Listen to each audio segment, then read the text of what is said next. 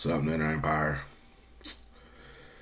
Was hoping to get up on here and talk about a victory over the Bears, but you saw the game. It didn't turn out that way. Uh, kudos to the Bears. I mean, they hung tough. We were opposing our will, but they didn't give up. And once Justin Fields started going, uh, we just couldn't recover for that. So, yeah, credit to the Bears. Good game. Overall, I'm not mad that the 49ers lost. There's really only two things that bother me about the game. All the other stuff, which I'll get to in a second, that can be fixed. But the two things that bother me was one, I owe a coworker lunch tomorrow. But more importantly, to the health and status of Elijah Mitchell because he got dinged up. Uh, I believe it was a knee injury. Didn't come back into the game. Um, I hear he might be out long term, but that hasn't been confirmed, and I'm sure we'll know more by uh, Monday. Now, overall, as far as the game, first half, um, the Trey Lance era officially begun. Saw some good things from Trey uh, with his arm. He had a nice couple throws. Um, you saw him extend some plays with his legs, and you saw some things out there verifying why the 49ers traded so much last year to get this guy. And we also saw some stuff that it's obviously he still need to grow in, in some areas. Um, he missed a couple throws. Uh, he threw an interception. Um, yeah, it, it's basically and We all knew this because he only has a handful of experience, both college and pro. This could be a recurring thing. It, um, at the very least, you know, especially for the beginning part of the season, uh, he's to do some good. He's to do some bad, and that just comes with the territory when you only have so much experience under your belt. Now, having said that, the one thing that's going to help Trey Lance out is that he's surrounded by a Super Bowl caliber team on offense and defense. So it's not like he has to put this team on his shoulder constantly throughout the season. So he doesn't have to worry about that. Um, just play smart and try not to lose us the game. But this wasn't all. I'm not, and I'm definitely not saying this was all on Trey Lance or whatever because early on in the first half, we left a lot of points out on the field. We should have won in the halftime up 21 to nothing.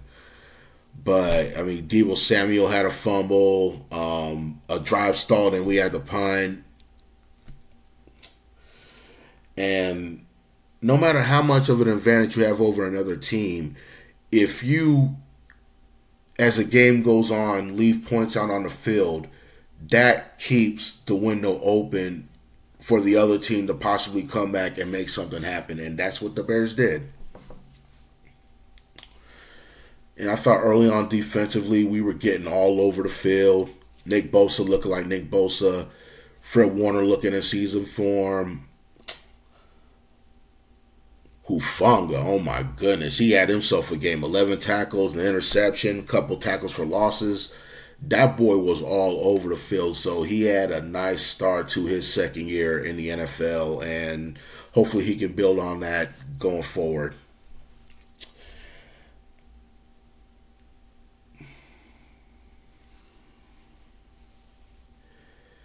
Yeah, we, we should have had this game, but coulda, woulda, should have. When we came out in the second half, I was really hoping we would have got a touchdown, but you know, we ended up settling for a field goal. Now it's all the points we would score for today. And and and I kept saying and right then I said to myself, okay, all game, I mean, we've been opposing our will on offense and defense, and we only have 10 points to show for it. So my concern right there was can the defense, who's been doing a good job thus far, with the exception of the penalties, can the defense step up and you know get the ball back for the offense? And it it just didn't turn out that way. Shit just started going all bad. I mean, just personal foul calls.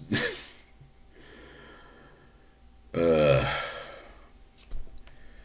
and then once Justin Fields started going and he hit Dante Pettis of all people, a man we drafted a few years ago in the second round. You you knew he had a big grin on his face when he was wide open and Justin Fields hit him.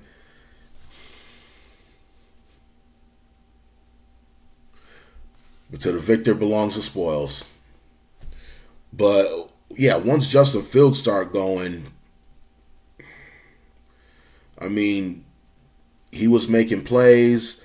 Our offense, and then on on offense, and I don't know if it was because Elijah Mitchell wasn't out there but we really couldn't do much on offense. And then the Bears totally had the momentum going for them in the second half, and we couldn't overcome it.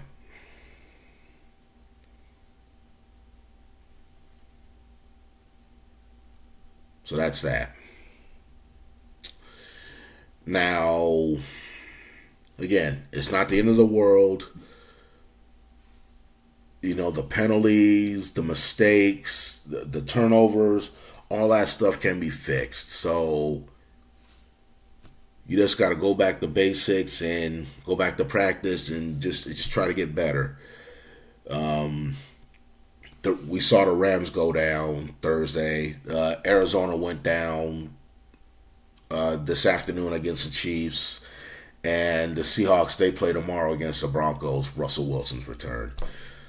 Um, so it's still 16 games left to be played. So it, it's a bummer that we couldn't jump out the gate with a victory, but there's still a lot of football left to be played. So, I mean, just go back to basics. You just got to limit the turnovers. Trey Lance, just learn learn from this game. You can take a lot from this game. There was some good, there was some bad, and but regardless, the experience will hopefully help him out and have him more, you know, ready next week when the Niners take on the Seahawks. So yeah, um, I, I guess that's it for me. Um, Niners down to the Bears. 1910. Good game, Bears fans. And uh, Niner Empire will be all right. Just got to go back to the drawing board and just got to get better. There's nothing to it. So, uh, y'all know the drill. I'll get with y'all next time. Late.